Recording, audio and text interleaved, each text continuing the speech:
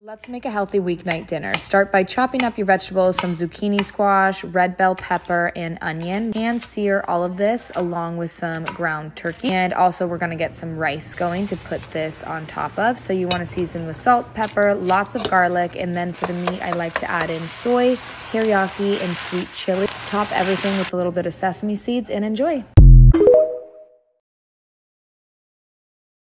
These crispy salmon bites are one of my favorite air fry hacks. I cube my salmon and season with soy sauce, chili flakes, pepper, onion, and garlic powder and add some hot honey. Let that marinate in the fridge for up to 30 minutes. Air fry for 10 minutes at 390 degrees, leaving your pieces so crispy on the outside and soft on the inside.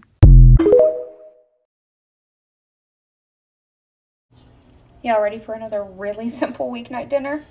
Let's make chicken bowls. Step one, preheat your oven. You know, typical 350, the norm. Next, cut up some chicken, however much you need to feed your family. For me, two chicken breasts is enough. So I'm cutting mine into strips and then from there I'm just dicing it into bite-sized pieces. You can cut it bigger or smaller, really you just want a bite size. All right, now that the chicken's all cut up, we're gonna add just a little bit of butter to our pan. I'm cooking mine in a cast iron skillet because it can go in the oven, but really you can cook it in whatever and then transfer it. Okay, so this is the seasonings I'm using. I'm doing salt, pepper, some chili, Italian. It looks like I'm adding a whole lot, but it's really because it just wouldn't come out. I'm adding the rest of my garlic and some paprika. While the chicken's cooking, I'm making instant mashed potatoes. You can make fresh mashed potatoes. I can make fresh mashed potatoes, like real mashed potatoes. Um, but this makes it a lot faster. So on a busy night, I'm going to go with the instant. Really doesn't matter what flavor. I'm doing four cheese tonight because that's what I have. And I'm just following the directions on the back, except for when it's done, I'm going to add extra milk and butter and make it really creamy and a lot of cheese.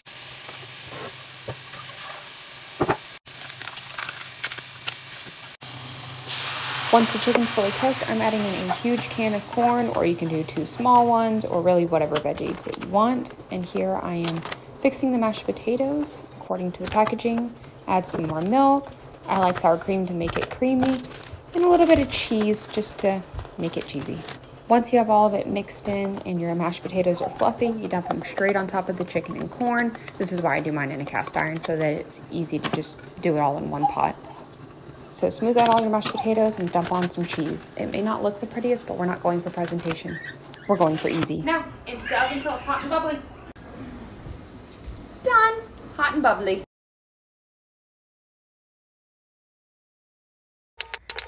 Hey guys, I hope you had a good day today. Um, I honestly have not been in a great headspace today. I'm kind of down and dreary.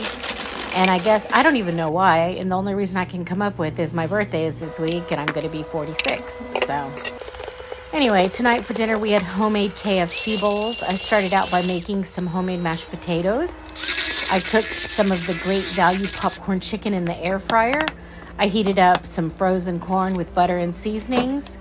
And then I heated up some chicken gravy. And then I layered the bowls with mashed potatoes, corn, popcorn chicken. I put cheddar cheese on top of Ricky's. And then I put gravy on top of his so it melted. And that was dinner for tonight.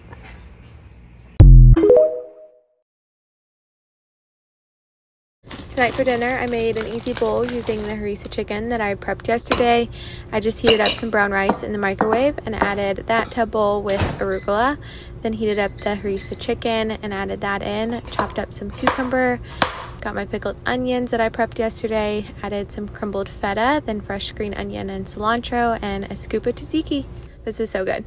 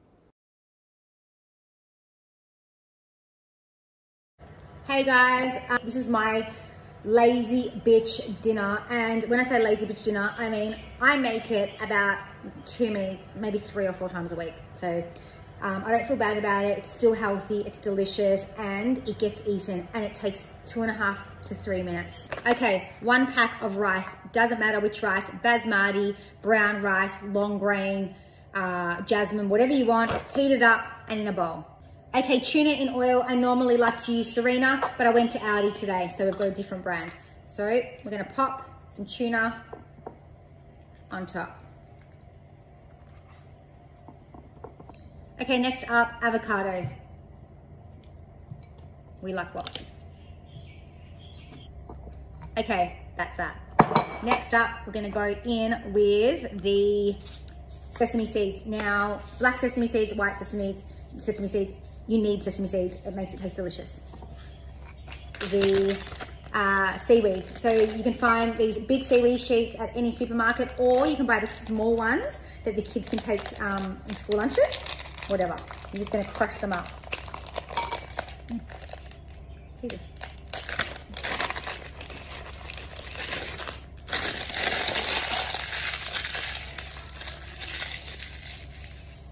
Next up, we're going in with the tamari. You can use soy sauce or tamari. I like tamari. Apparently it's healthier. Okay. Kewpie mayonnaise or any mayonnaise. We like to use the one with wasabi in it, but you can use regular.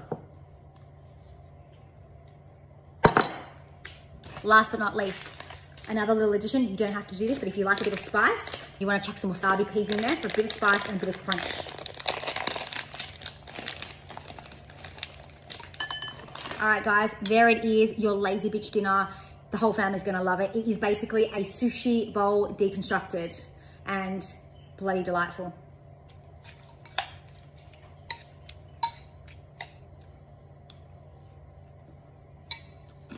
Mmm.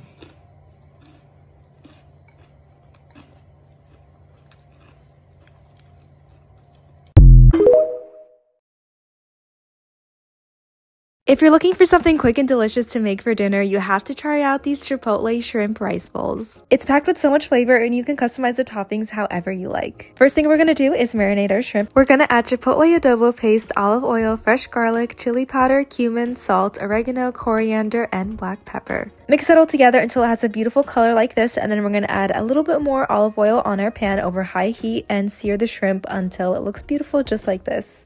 I also made some cilantro lime rice to go with the bowls, which I'll show how to make in the next video. And then we add all our toppings along with the shrimp, some sour cream, and cilantro to finish it off. It turns out so good, and now we just enjoy.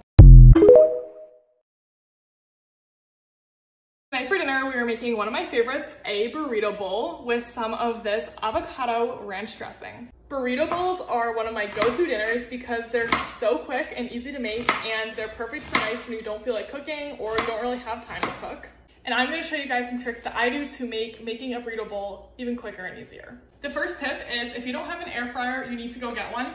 It's probably my most used kitchen tool. They're so fast, you don't need to turn on the oven, you don't have to mess up a pan.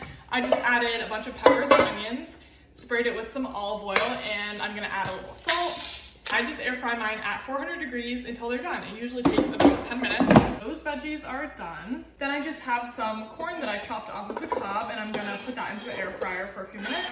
If you don't want fresh corn, you can also definitely use frozen corn. And here's another trick if you're running short on time. I usually make my rice on the stove the normal way, but if I'm running short on time, I use this minute rice. It seriously only takes like five minutes to make, so that's nice. I was gonna make guacamole, but my avocado wasn't ripe enough, so I couldn't really mash it that well, but it's okay. I'm gonna show you guys what you can do if your avocado isn't ripe.